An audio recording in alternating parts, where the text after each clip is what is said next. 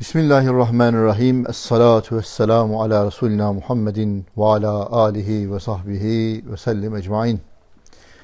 Hayırlı geceler. Geceniz mübarek olsun. Rabbim hayırlara vesile etsin inşallah. Tekrar yine bir iman dersinde beraberiz. Bu akşam ehemmiyetli bir mevzu var. Gerçekten çok önemli bir konu. Hakikaten namazda Allah'la muhatap olduğumuzda Rabbimize karşı nasıl hitap ettiğimizi, neler konuştuğumuzu bilmemiz gerekiyor. Acaba biz Rabbimize namazda ne diyoruz? Nasıl muhatap oluyoruz? Nasıl bir Allah ki onunla böyle bir mükaleme, böyle bir konuşma yapıyoruz? Bununla alakalı özellikle namazın farzlarından olan tahiyyat. O yüzden diyor ki tahiyyatı geniş manasıyla okumak teşehhütte umum İslam'ın farz bir vazifesi olmuş. Tahiyyat namazın farzlarından bir tanesi. Allah Allah. Olmazsa olmazı. Tahiyyatsız namaz olmaz. Neden? Acaba tahiyyattaki ettahiyyat derken Cenab-ı Hakk'a nasıl bir hitap var? Ne diyoruz? Öyle ya şimdi. Namazda Allah'a ne dediğimizi bilmek insanın boynunun borcu olması lazım değil mi? Ha. Yoksa insan hakikaten namazı resmi ve ruhsuz kılıveriyor. Ya şu dualar okuyacaksın. Bu dualar okundu mu namaz olur. Tamam da namaz neydi? Her beş vakitte Cenab-ı Hakk'ın huzuruna kabulün yani Cenab-ı Hak seni adeta şu kainat kitabını okumaya gönderdi ya bütün kainat kitabından okuduğun manaları bizzat Rabbine muhatap olup ilan etmeni istiyor senden. Yani benim huzuruma beş vakitte çık, kainat kitabını nasıl buldun? İsimlerimi nasıl keşfettin? Esma-i Hüsna'mı kainat kitabından ne kadar okuyabildin? Allahu Ekber diye Ya Rabbi sen ne kadar büyükmüşsün diye her namazda o büyüklüğü bir derece daha keşfetmiş vaziyette. Cenab-ı Hakk'ın büyüklüğünde bir makam, bir mertebe daha atlamış bir surette Rabbimize muhatap olmak. Peygamberimiz aleyhissalatü vesselamın iki günü birbirine eşit olan ziyandadır dediği buymuş. Yani ömrümüzün sonuna kadar nasıl Peygamberimiz aleyhissalatü vesselam Miraç'ta her basamakta Cenab-ı Hakk'a ne yaptı? Her basamakta Rabbimize o basamaktan muhatap oldu. Sonra daha üste çıktı oradan muhatap oldu. Daha üste çıktı oradan muhatap oldu. Ya Rabbi seni hakkıyla tanıyamamışım diye bir önceki muhatabiyetinden, bir önceki hitabından dolayı, bir önceki tanımak mertebesinden dolayı Allah'a mahcubiyetle tövbe etti. Biz de ne yapacağız? Demek ömrümüz bizim bir miraçmış. Ve her basamakta, her gün beş defa Rabbimize muhatap olup günlük hayatta gördüğümüz, işittiğimiz kainattaki icraat-ı ilahiyeyi, Cenab-ı Hakk'ın kudret eserlerini, kudret mucizelerini okuyup, Rabbimizi isimleriyle tanıyıp, her gün tanıdığımız mertebeden o Rabbimize muhatap olmak için dünyaya gönderilmişiz. Cenab-ı Hak bizi çağırıyor. Gel diyor eserlerimi, sanatlarımı, icraatlarımı nasıl buldun? Beni ne kadar tanıyabildin diye. Şimdi bu noktada tahiyyat çok önemli. Çünkü biliyorsunuz tahiyyat Peygamberimiz aleyhissalatu vesselamla Cenab-ı Hakk'ın adeta Miraç'ta değil mi? Karşı karşıya geldikleri an. Tabi bu maddi bir karşılaşma manasında değil. Çünkü Cenab-ı Hak maddeden münezzehtir mekandan, kayıttan müberradır. Kayıtsız, mekansız, maddesiz bir zatla maddi bir manada karşılaşmak manası düşünülemez. Oradaki Miraç'taki Allah'ın huzuruna çıkmak manası, adeta ruhu Muhammediye aleyhissalatu vesselam Cenab-ı Hakk'ın ehadiyetiyle tecellisi demektir. Bu manada Miraç bahsinde inşallah anlatılır, işlenir. Bunun da içine hep beraber girer.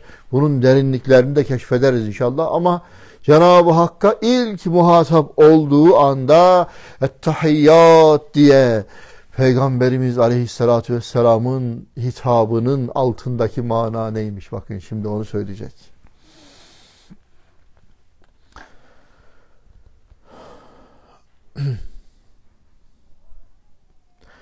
Mirac-ı Muhammedi Aleyhisselatü Vesselam gecesinde huzur ve hitabı ilahiye mazhar olduğu zaman birden Et-tahiyyat, el-mübarekat, es-salavat, et-tayyibatü lillah diyerek bütün zihayat, bütün canlılar ve envai mahlukat, bütün mahlukat çeşitleri namına bir meb'us ve elçi olmasından Allah Allah. Bütün onların sıfatı ilmin cilveleriyle Rablerini bildirdikleri tarzda selam yerinde umum umum zi şuur bedeline Halıkına umum zi hayatın hediyelerini takdim eder. Demek ki Peygamberimiz aleyhissalatü vesselam bütün mahlukat namına Cenab-ı Hakk'a muhatap olan elçiymiş. O yüzden biz salavat getirirken çünkü salavat da bize Miraç'tan kalmış. Ha, orada değil mi o salavat, selam bunlar hep Miraç'taki Cenab-ı Hak'la Peygamber aleyhissalatü vesselamın arasındaki konuşmalar ya. Mükalemeler. Şimdi geçen böyle bir muhabbet ediyoruz da Miraç'la alakalı. Böyle bizim alemimizde Miraç yanlış anlaşılmış. Miraç bir gece yaşanmış bir olay. O da tarihi bir olay olarak biz o geceyi her sene kutluyoruz gibi anlaşılıyor. Halbuki Miraç zaman üstü bir seyahattir. Miracı zamana sıkıştırmak yanlıştır. Miraç'ta Peygamberimiz aleyhissalatü vesselam beka alemine girdi. Orada zaman yok. Zaman bizim için var. Öyleyse Miraç her an yaşanan bir hadise. Her an bütün kainat namına, bütün kainatın kumandanı olarak Peygamberimiz Aleyhisselatü Vesselam'ın kainatın tesbihatını, zikrini, tahiyyatını, hayat hediyeleri dediğimiz Esma-i İlahiye ilanlarını Cenab-ı Hakk'a takdim etmesiymiş. O yüzden bakın Peygamberimiz Aleyhisselatü Vesselam'ın bir maddi şahsiyeti var. Bir tarihte doğdu, bir tarihte vefat etti. Bu savaşlara girdi, bunları yaptı. Bu şu evde yaşadı. Bunlar maddi şahsiyetiyle alakalı, maddi hayatıyla alakalı. Ha bir de manevi şahsiyeti var ki şahsı manevi. Aman ya Rabbi ya. Adem Aleyhisselam onun hürmetine affedilmiş ya. Kainatın nuru evvele halakallahu li nuri diyor Peygamber Aleyhisselatü vesselam. Allah kainatı Allah evvela ilk önce benim nurumdan yarattı diyor. Düşünün şahsı maneviye bak.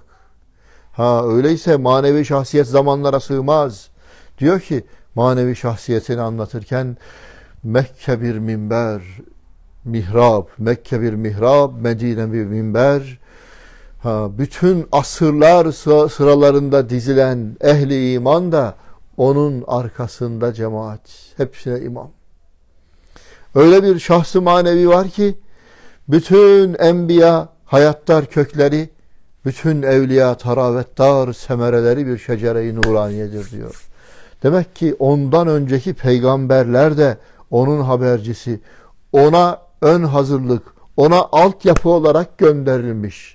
Yani beşeri insanlığı değil mi? Adeta ilkokuldan ta bir değil mi şimdi bir insanı üniversitedeki profesöre muhatap etmek için ne yapıyorlar? Önce ilkokul öğretmeni alıyor o çocuğu değil mi? Ortaokula muhatap olacak seviyeye kadar taşıyor.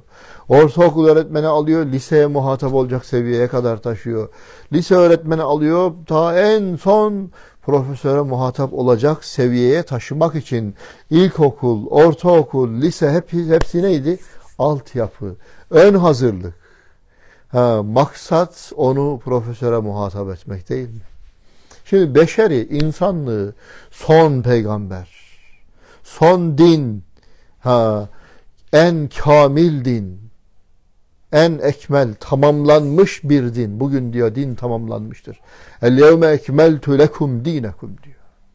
Yani artık din tamamlandı diyor.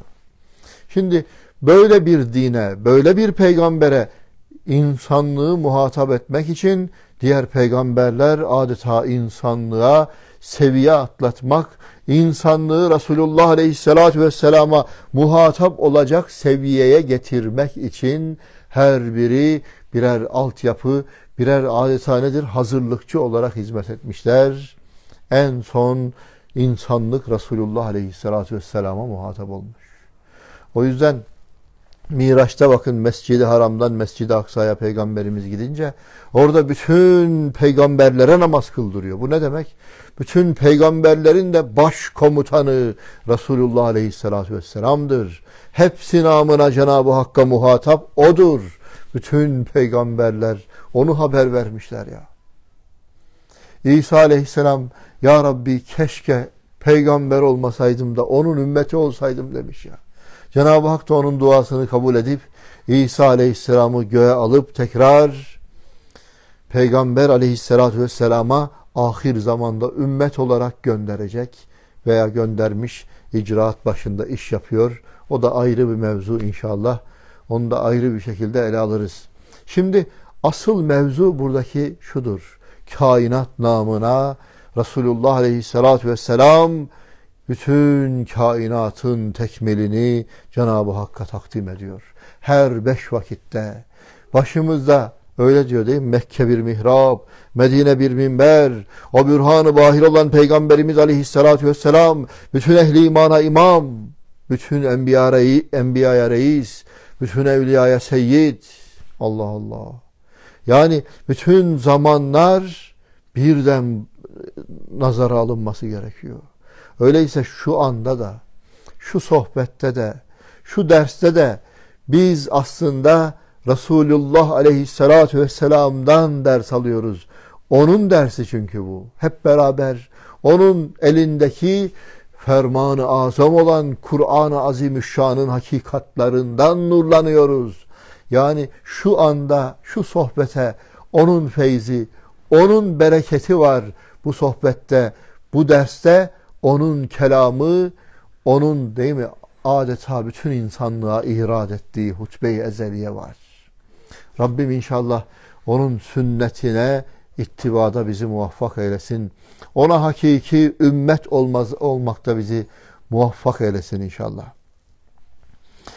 Miracı Muhammedi aleyhissalatu vesselam gecesinde huzur ve hitabı ilahiye mazhar olduğu zaman birden Ettehiyyat, el mübarekat, es salavat, et tayyibatü lillah diyerek bütün zihayat ve envai mahlukat namına bir mebus ve elçi.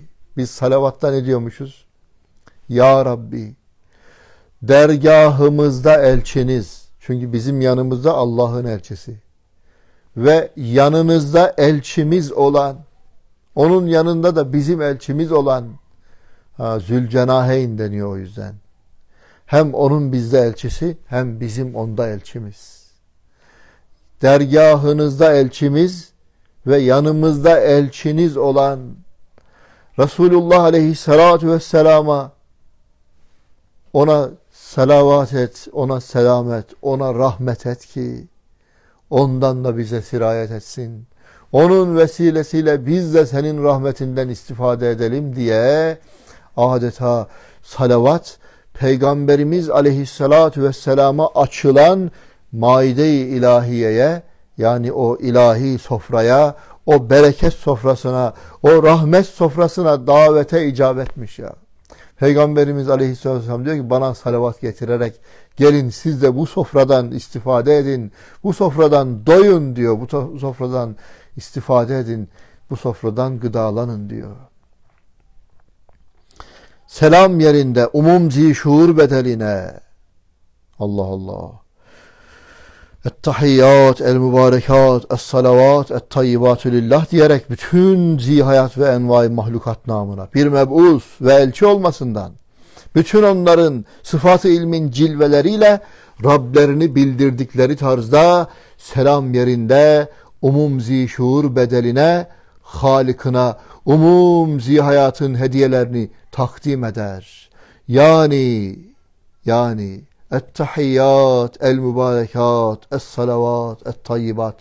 Dört kelimeler ile umum zihayatın dört taifesinin ezeli ebedi ilmin cilveleriyle Allamul guyuba karşı tahiyyelerini, tebriklerini, ubudiyetlerini, güzel marifetlerini gösterdiğinden bu kutsi mükaleme-i miraciyeyi, Miraç'taki bu Peygamber aleyhissalatü vesselamla Cenab-ı Hak arasındaki bu ulvi, bu yüksek konuşmayı geniş manasıyla okumak, teşehhütte umum İslam'ın farz bir vazifesi olmuş.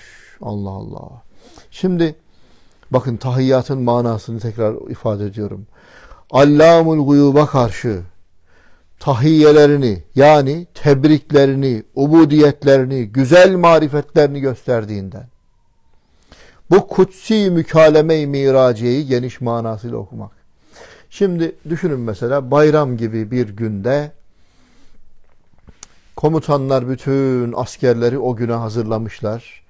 Bayramda her biri değil mi tören yürüyüşü yapacaklar, selam duracaklar, çok hareketler sergileyecekler yani onlara ne öğretildiyse, o zamana kadar ne verildiyse onlar o gün onları sergileyecekler.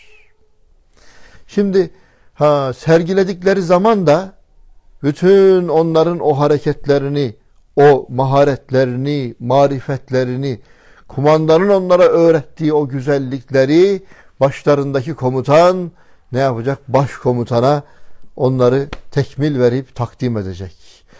Ordu bütün maharetiyle, marifetiyle, bütün icraatıyla emir ve görüşlerinize hazırdır. Hepsini size takdim ediyorum. Buyurun diye değil mi? Başkomutana onun tekmilini verecek. Bakın şimdi. Cenab-ı Hak hangi mahluka neyi verdiyse ondan onu istiyor. Hangi mahluku hangi ismiyle te terbiye ettiyse ondan o isminin tezahürünü istiyor. Biz de öyle yapmıyor muyuz?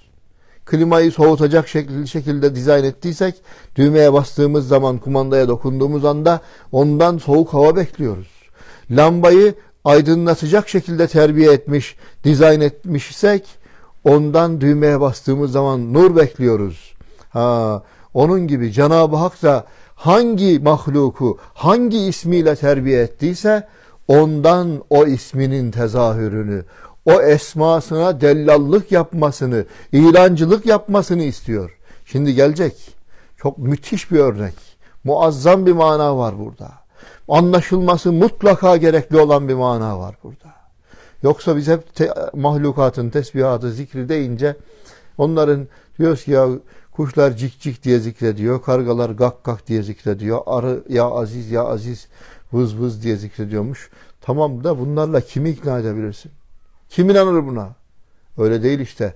Onların zikrinin ispatını yapıyor. Bu hayvanatın manasız sesler çıkarmadıklarını, manasız hareketler, tavırlar sergilemediklerini, her sergiledikleri tavrın, her çıkardıkları sesin zikri ilahi olduğunun ispatını yapacak şimdi. Demek Peygamberimiz aleyhissalatü vesselam bütün mahlukatın hayatlarıyla ortaya koydukları hediye ibadetlerini yani tahiyyelerini, tebriklerini, marife hepsini ne yapıyor? Maharetlerini Cenab-ı Hakk'a takdim ediyor. Tahiyye demek şöyle. Hayat hediyesi demek. Bu da şu şu manaya geliyor. Et tahiyyat diyoruz ya. Hayat hediyesi demek varlık sebebi.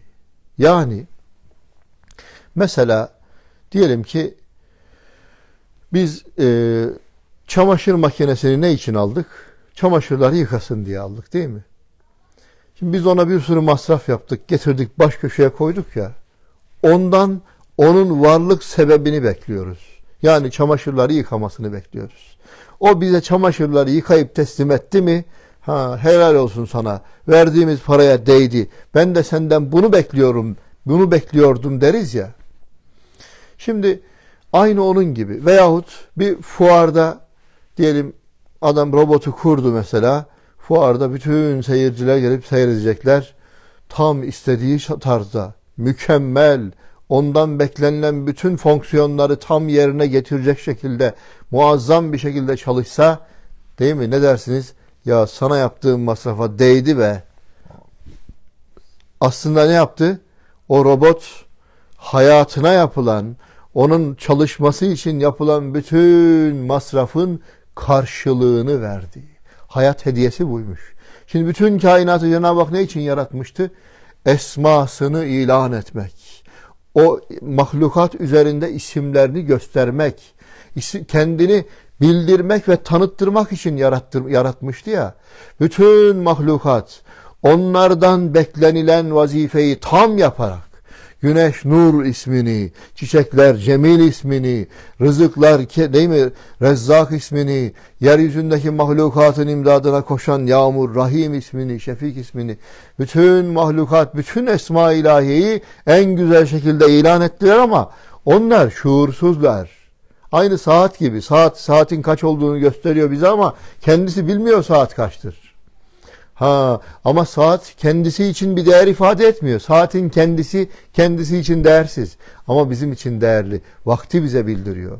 Biz şuurlu olarak saatin kaç olduğunu ondan öğreniyoruz. Aynı onun gibi mahlukat Cenab-ı Hakk'ın isimlerini zikrediyorlar ama kendileri bilmiyorlar ne yaptıklarını. Biz şuurlu olarak onların hareketlerinden, tavırlarından, seslerinden, hallerinden, onlar üzerinde görülen esma-i ilahiyeyi okuyup anlıyoruz. Demek şuursuz mahlukatın şuursuz zikirlerini, ibadetlerini, tesbihlerini, tahiyyelerini şuurlu bir surette Cenab-ı Hakk'a takdim etmek vazifesi insanın vazifesiymiş. İnsanlığın en zirvesinde de Resulullah Aleyhisselatü Vesselam olduğu için Dolayısıyla ha, bütün kainatın ibadetlerini, bütün insanlığın da ibadetlerini her an, Miraç her an yaşanıyor. Şu anda da yaşanıyor. Her an bütün kainatın bizim de ibadetlerimizi Cenab-ı Hakk'a Resulullah Aleyhisselatü Vesselam takdim ediyor. Ha, onun manevi şahsiyeti devam ediyor. Allah Allah nasıl bir mana ya. Şimdi tahiyyatta şunu bir insan anlasa ya ben var ya tahiyyatta diyorum ki ettahiyyat Hanefilerde ettahiyyatü lillahi ve salavatı diye Şafilerde de ettahiyyat el mübarek salavat ettayyibat diye ikisi de aynı manaya geliyor. Ben namazda ettahiyyat derken Ya Rabbi canlı cansız bütün mahlukattan aldığım hizmetleri onların bütün ibadetlerini onların bütün zikirlerini, onların benim hayatıma yaptıkları bütün gayretlerini, onların senin isimlerini tecelli ettiren bütün hallerini, vaziyetlerini sana takdim ediyorum ya Rabbi. Ben kendi alemimin, kendi şahsi dünyamın kumandanıyım. Öyleyse benim alemime, benim dünyama, benim hayatıma hizmet eden bütün mahlukatın ibadetlerini ben sana tekmil veriyorum, sana takdim ediyorum. Ettahiyyat derken bütün kainatın ibadetlerini onların kumandanı namına Cenab-ı Hakk'a takdim etmek. Aman ya Rabbi. Zaten namazda insan bütün ibadet eden mahlukatın hallerine, vaziyetlerine, tavırlarına giriyormuş. Mesela ayakta dururken ağaçları temsil ediyor. Değil mi? Rükûa eğildiğinde hayvanatı temsil ediyor. Değil mi? Hayvanlar böyle. Dört ayak üstündeki hayvanları temsil ediyor. Tahiyyatta otururken dağları temsil ediyormuş. Değil mi? Sürüngenleri temsil ediyor secdede. Allah Allah. Bütün mahlukatın hallerine, vaziyetlerine insan girip çıkıyor. Cenab-ı Hak o yüzden o namazı bütün ibadetlerin fihristesi olarak kabul ettiği gibi haccın, orucun, zekatın çünkü hepsi içinde var. Öyle ya namazda hac var mı? Var. Kabe'nin etrafındayız. Kabe'ye doğru dönüyoruz. Bak hac manası var. Sonra Namazda oruç var mı? Namazda bak yemek yenmiyor, oruç var. Namazda zekat var mı? Bak namaz ömrümüzün zekatı, üzerimizdeki elbiselerin aşınması, değil mi? Zamanın zekatı bak hep ne var? Şimdi bütün kelime-i tevhid de namazın içinde var. Adeta bütün İslam'ın İslam'ın bütün şartları namazın içinde var. Adeta bak namaz ne yaptı? Bütün enva ibadetin fi. Bir de diğer mahlukatın ibadetleri de namazın içinde. Hepsini temsil ediyormuşuz biz namazda. Çünkü hani mesela Genel Kurmay Başkanı'nın üzerinde rütbeler takılıdır. Kara kuvvetlerin rütbesi de takılıdır. Deniz kuvvetlerinin rütbeti, rütbesi değil mi? Piyadenin rütbesi, jandarmanın rütbesi tamamını birden Cumhurbaşkanına tekmil verir, ilan eder. Bu mana çok ehemmiyetli. Öyleyse biz de kendi alemimizin kumandanı olarak beş vakitte Rabbimize kulluğumuzu takdim ettiğimiz zaman bizim alemimiz, bizim dünyamız, bize hizmet eden mahlukat bizi alkış tufanına tutuyor. Helal olsun sana. Senin için çalıştıklarımız sana helal olsun. Tavuk diyor ki yediğin yumurtalar helal olsun. İnek diyor ki içtiğin sütler helal olsun. Güneş diyor ki sana yaptığım hizmet helal olsun. Sen hakkını verdin. Bizim şuursuz ibadetlerimizi şuurlu olarak Rabbine takdim ettin diye. Hepsi bizden memnun oluyorlar. O yüzden bakın. Ehli imanın ölmesiyle, vefat etmesiyle diyor ayet. Fema bekat aleykumus sema'u vel ard. Ehli imanın vefatıyla Semavat ve zemin onların üstünde ağlıyorlar diyor manayı işaretiyle. Ehli dalaletin gebermesiyle de hepsi memnun oluyorlar bir pislik daha temizlendi diye. Çünkü ehli iman ölünce bütün mahlukat beni, bizi tanıyan, bizi anlayan, bizim zikrimizi, tesbihimizi Rabbimize takdim eden biri vardı gitti diye üzülüyorlar. Burada arkamızdan bütün mahlukatın üzülmesi gittiğimiz yerde değil mi? Büyük törenlerle karşılaşacağımızı değil mi? Orada nasıl muazzam bir vaziyette karşılanacağımızı gösteren bir delildir. Şimdi düşünün bir yerde insan bir insan uğurlanırken ağlanıyorsa arkasından belli ki onu karşılayanlar sevinecekler. Çünkü arkasından ağlanacak bir insan ayrıldı. Onu karşılayanlar ne kadar çok sevinecek. Ama bir yerden birisi defolup giderken arkasından seviniyorsa herkes gittiği yerdekilerin vay haline. Ya o yüzden bazı oluyor ya mesela mahallede bir cenaze var. Gidip bakıyorsun herkes düğün bayram ne oldu? Ya mahallemizden bir pislik daha temizlendi diyor. Allah muhafaza etsin. Yani bütün mahlukat. O yüzden diyor ki mesela ehli imana hizmet eden bütün mahlukat ondan memnundur. Ve onu Cenab-ı Hakk'a takdim eder.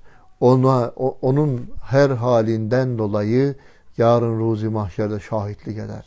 Ya Rabbi benim üzerime basa basa mescide gitti. Ya Rabbi beni üzerine giydi namaz kıldı. Ya Rabbi beni yedi içti benden elde ettiği enerjiyle sana ibadet etti diye. Bütün mahlukat hem memnun hem şefaatçi hem de birer değil mi müjdeci birer şahit olarak bizi değil mi bizi destekleyecek, bizi takdir edecekler.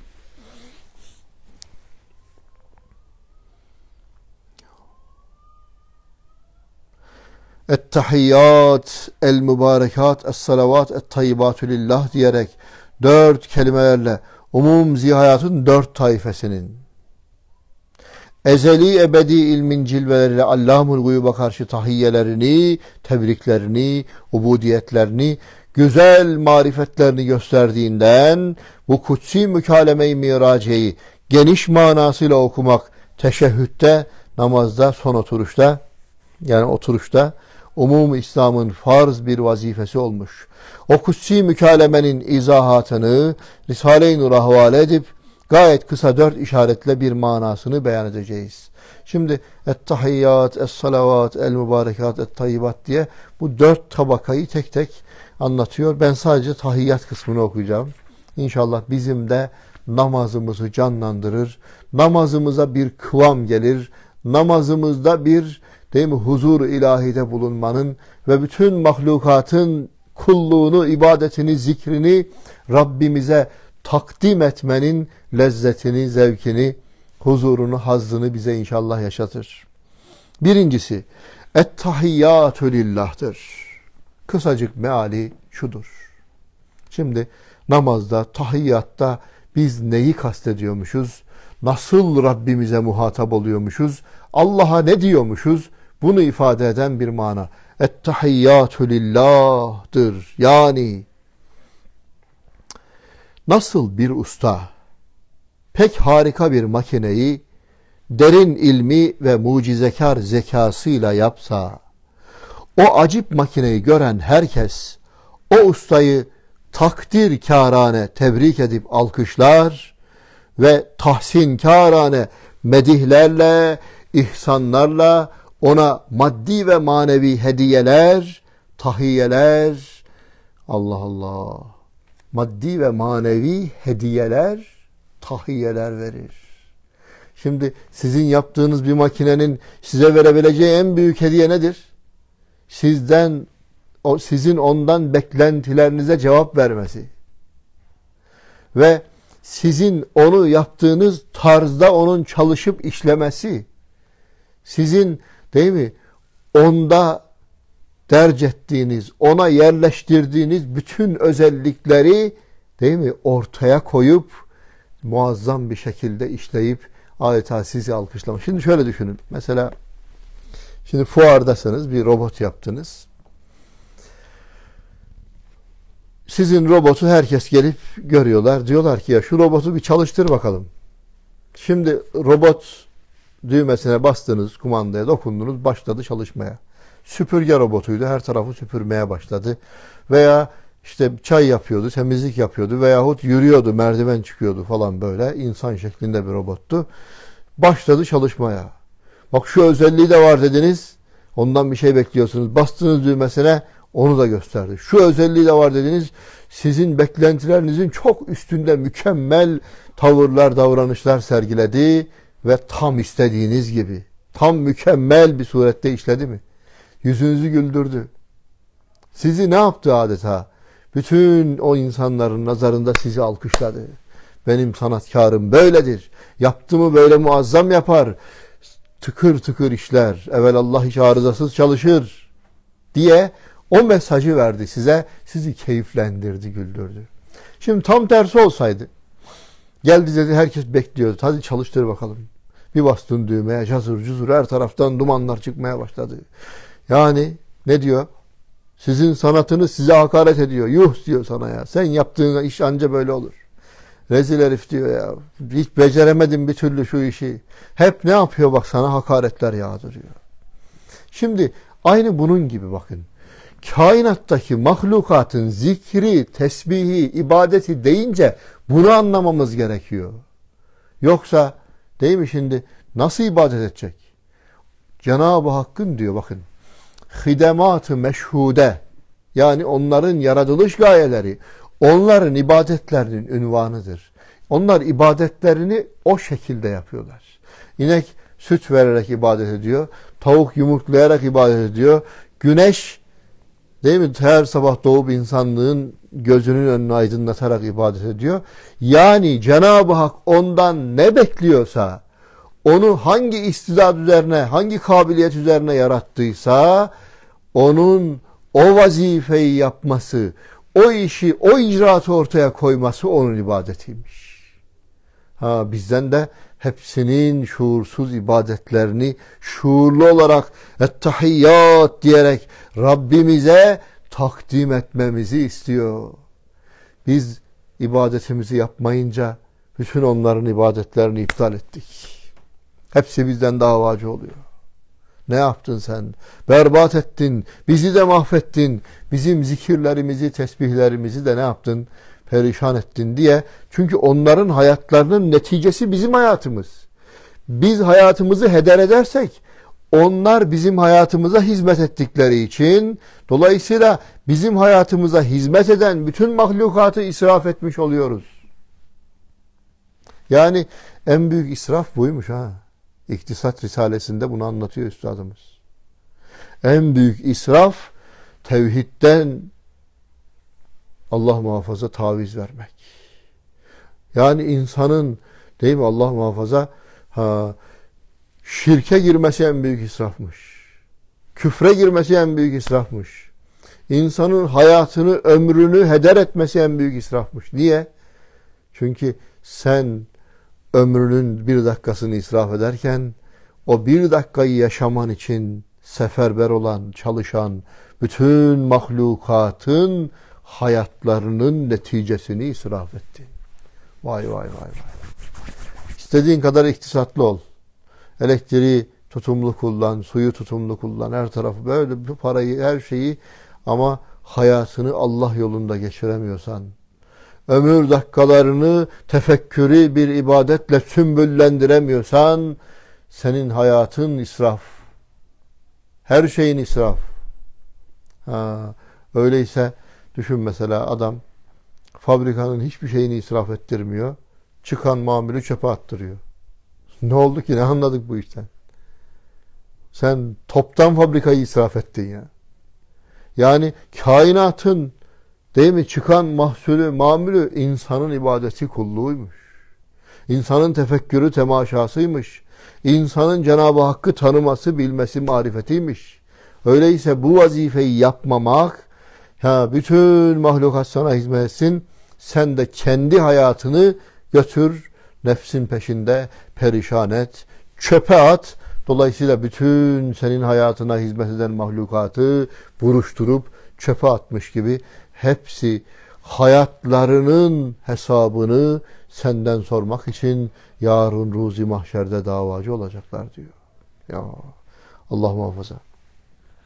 Demek ki mahlukatın Cenab-ı Hakk'ın istediği tarzda tam mükemmel bir surette çalışmaları, Cenab-ı Hakk'ın isimlerini kendi üzerlerinde tecelli ettirip ilan edip göstermeleri onların tesbihleri, zikirleriymiş.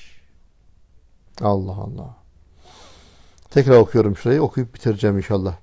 Nasıl bir usta pek harika bir makineyi derin ilmi ve mucizekar zekasıyla yapsa o acip makineyi gören herkes o ustayı takdir kârane tebrik edip alkışlar. Bu bu bizim ibadetimiz, bizim zikrimiz. Bizim Allah'ın sanat eserlerini gördüğümüzde Cenab-ı Hakk'ı tanıyıp onu zikredişimiz. Ama mahlukat nasıl zikrediyor? Ağaçlar, inekler, sinekler bunlar nasıl zikrediyor? Bu zikri anlatıyor şimdi. Ve tahsinkarane medihlerle ve ihsanlarla ona maddi ve manevi hediyeler ve tahiyyeler verir. O makine dahi. Mesela bir ağaç bir makine. Hem de yüz bin değil mi? Çeşit içinde makineler var ya. Her bir başında da bir ağacın her bir başında bir meyve, o meyvenin içinde bir çekirdek, o çekirdeğin içinde de makinanın tamamı yazılı. Projesi var. Vay vay vay. O makine dahi o ustanın istediği tarzda tam tamına gayet mükemmel olarak arzularını ve harika ince sanatını ve maharet ilmiyesini göstermesiyle kendi ustasını lisan hal ile alkışlar, tebrik eder, manevi tahiyyeler, hediyeler verir. Allah Allah. Değil mi? Tam ondan beklediği gibi çalışması. Tam ondan beklediği neticeleri vermesi. Mükemmel istediği gibi işlemesi makine tarafından usta alkışlanıyor. Ha, makine tarafından ustanın alkışlandığını görüp o makinenin kendi ustasını tebrik ettiğini görüp de o makinenin şuursuz tebrikini, takdirini, alkışını anlayıp ustayı o makinenin diliyle tebrik etmek, makineden dolayı takdir etmek, o makineden dolayı ustayı alkışlamak da ha, o fuardaki seyircilerin vazifesi. Şimdi o fuar şu yeryüzü fuarı. Her bir makine bir mahluk. Ha, bütün mahlukatın mükemmel işleyişleri onların sanatkarını tebrik ve alkışlamalarıymış. Şimdi düşünün mesela biz ciğerlerimizden çıkan nefes ses tellerimize çarptığında o sesle küfredebilir miyiz? Ederiz. Hakaret de edebiliriz, isyan da edebiliriz, inkar da edebiliriz. Ama o sesin Cenab-ı Hakk'ın bizden istediği tarzda dudaklarımızdan dökülmesi ibadet oluyor değil mi? Tesbih ettik, zikrettik. O ses ses tellerimize dokundu. Cenab-ı Hakk'ın istediği sesi çıkardık. O bizim ibadetimiz oldu mu? Şimdi ha bir tarafta ne var? Ağaçlar var. Ağaçlara dokunan değil mi? Rüzgar nedir? Her bir ağaçtan ayrı bir ses çıkarıyor. Çınarlara vurduğu zaman hışırtı çıkarıyor. Çamlara vurduğu zaman bir uğultu çıkarıyor. Değil mi? Kavaklara vurduğu zaman ayrı bir ses çıkarıyor. Her bir ağacın ses telleri hükmünde olan yapraklarını Cenab-ı Hak başka başka dizayn etmiş. Onlara ses değil mi ya rüzgar vurduğu zaman ayrı ayrı sesler çıkarmaları aslında Cenab-ı Hakk'ın onları tanzim ettiği, onları dizayn ettiği, onları yaratırken onlardan beklediği sesi çıkarması da onların zikri, onların ibadetiymiş ya. Biz Allah'ın istediği sesi çıkarınca ibadet oluyor da onlar Allah'ın dizayn ettiği, onlara yerleştirdiği sesi, onlara rüzgarın dokunduğunda onlardan çıkan sesleri onlara yerleştirmesi neticesinde çıkardıkları sesler ibadet olmaz mı? Bülbülün şakıması, değil mi? kargaların sesleri, bütün mahlukatın sesleri ibadet olduğu gibi hareketleri, tavırları, Cenab-ı Hakk'ın bize emrettiği hareketleri yapmak bizim ibadetimiz oluyor da diğer mahlukata emrettiği hareketleri yapması onların ibadeti olmaz mı? Bizim hayatımızın neticesi olan tesbihler, zikirler bizim ibadetimiz oluyor da tavuğun hayatının neticesi olan yumurta, ineğin hayatının neticesi olan süt, ağacın hayatının neticesi olan meyve onların ibadeti olmaz mı? Ha bakın ne diyor?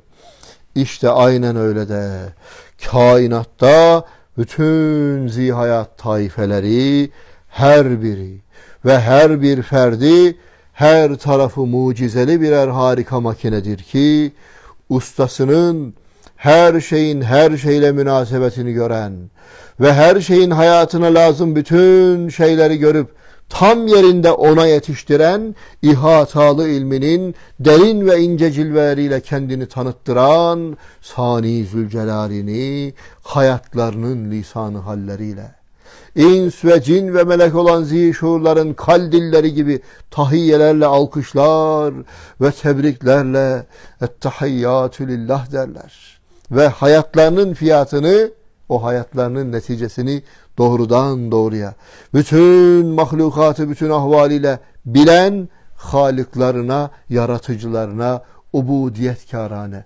onlardan beklenilen kulluklarıyla takdim ediyorlar ki Miraç gecesinde bütün zihayat namına, bütün kainat, bütün mahlukat namına Muhammed aleyhissalatu vesselam vacibül vücudun huzurunda selam yerinde ettehiyyatü lillah deyip bütün zihayat taifelerinin tahiyye ve hediye ve manevi selamlarını takdim etmiş. Allah Allah.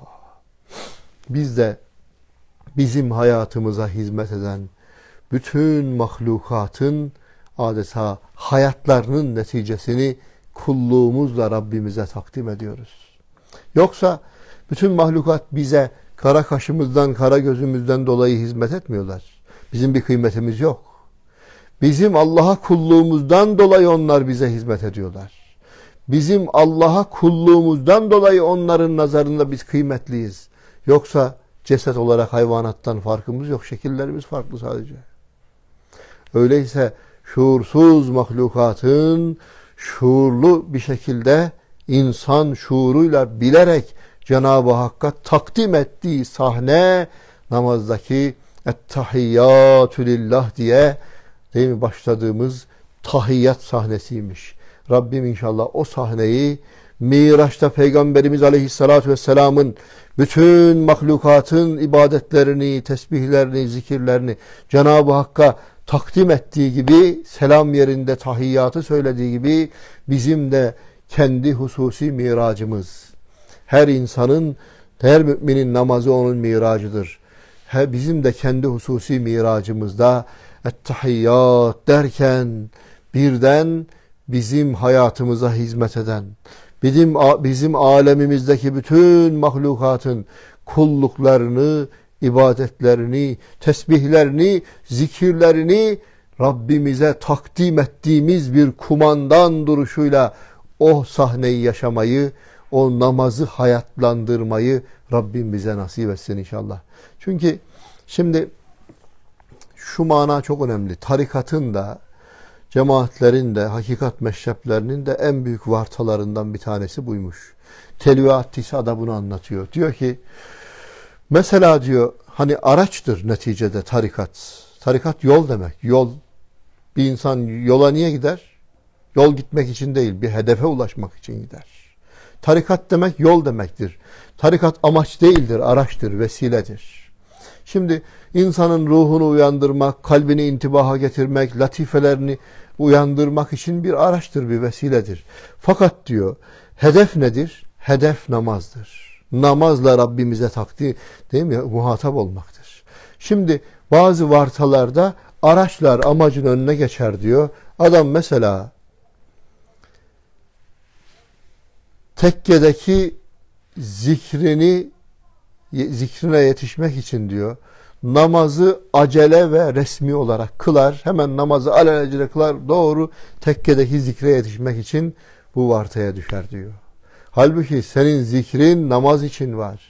Senin bütün tarikatta yaptığın evratlar, zikirler, tesbihler tamamı senin namazının huzuruna, namazının manasına, namazının hakikatına, namazın içinde yaşadığın manalara kuvvet verebiliyorsa kıymetli. Yoksa seni namazdan uzaklaştırıyorsa Allah muhafaza tehlikedir o. Ha demek bizim de şu okuduğumuz hakikatler namazımızı canlandırıyorsa, namazımızı ihya ediyor, diriltiyorsa, namazımızı adeta Cenab-ı Hakk'a yakışır bir hale getirmeye vesile olabiliyorsa o zaman ona o okuduğumuz değil mi hedefine ulaşmış demektir. O okuduğumuz manalar, hakikatler maksadını, yerini bulmuş demektir. Yoksa sadece kuru malumattan ibaret kalır. Allah muhafaza. Öyleyse bunlar uygulanmayı bekliyor bu hakikatler. Velhamdülillahi Rabbil Alemin. El Fatiha.